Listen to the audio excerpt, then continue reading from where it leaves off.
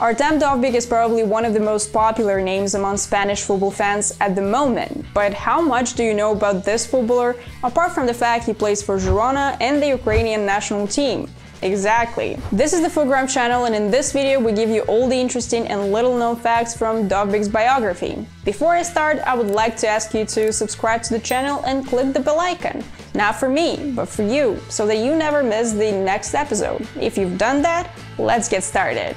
Let's go back in time to Euro 2020. There in the last 16, Artem Dovbyk burst on the international scene with a goal against Sweden in just his third game for Ukraine.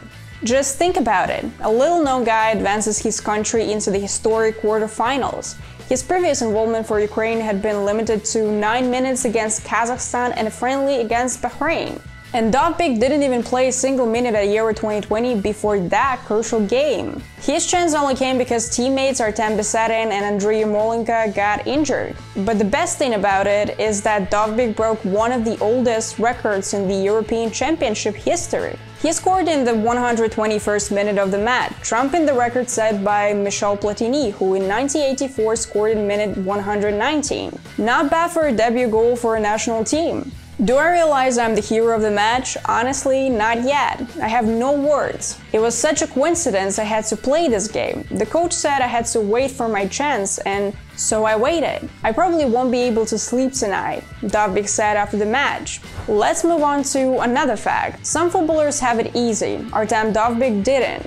He started his professional career at a relatively small Ukrainian team called Cherkasy Dnipro. For some reason, top clubs never looked to sign him. He did receive a trial invitation from one of the better sides, Kharkiv Metallist, but a knee injury disrupted his plans. Maybe it was all for the best, actually. Just as Kharkiv Metallist were ready to play in the Champions League, they were charged with match fixing and ceased to exist a few years later. Dynamo Kiev were also briefly interested and Dovbyk even joined for a trial, but in the end he simply got rejected. Who knows why exactly one of the two top teams in Ukraine turned the budding young striker down, but I'm 100% sure their bosses are now kicking themselves for letting Dovbyk slip. While Dovbyk's career in his home country took a lot of time to get going, his Spanish adventure was an instant hit. In fact, Dovbyk is in the history books as the first ever Girona player to win the Player of the Month in La Liga, which he did in December 2023. He's also the first ever Ukrainian to do so. Fair enough, not that many Ukrainians have played in Spain, so there's a little test for you. Can you name all of the 13 Ukrainians who have ever played in La Liga? Let's test your knowledge in the comments. Dovbyk scored so many goals for Girona that he had enough time to come up with unusual celebrations, like he once imitated Hulk. On another occasion, Dovbyk made the letter K with his fingers and this is actually a cute one. He dedicated it to his daughter, Kira. In between Spain and Ukraine, Dovbyk played in Denmark. Perhaps you already know this, but did you know he played there for two clubs and won three trophies? He first won the double with Midtjylland, and when he went on loan to SønderjyskE, he also won the Danish Cup.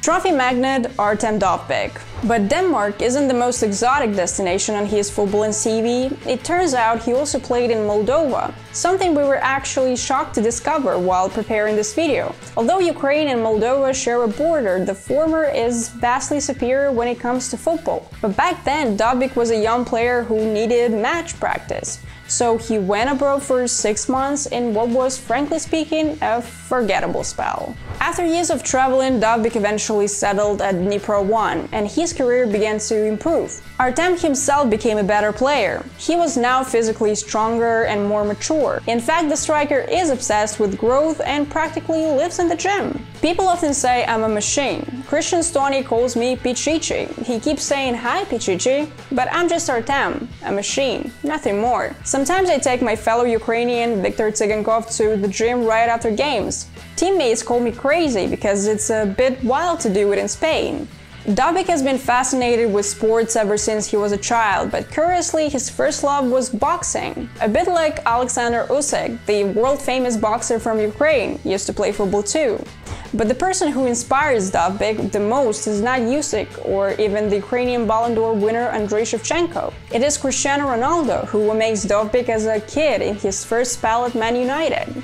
Perhaps the most relevant fact about Dovbyk is how he helps his country. He doesn't advertise this, but as confirmed by the Ukrainian military, he has been supplying drones, cars, and anything else for the army. Back in 2020, Dovbyk said, I have changed. The whole country has changed, and today we are working to make Ukraine free and independent. My achievements are nothing compared to what the soldiers in the front lines are doing, but we strive to help and will continue to do so until all land is free. We thank the armed forces of Ukraine for defending our country and allowing us to breathe freely and do what we love. And this is the end. Write in the comments one fact about Artem Dovbyk that surprised you the most. Also drop your suggestions for what else you'd love to see in the next videos.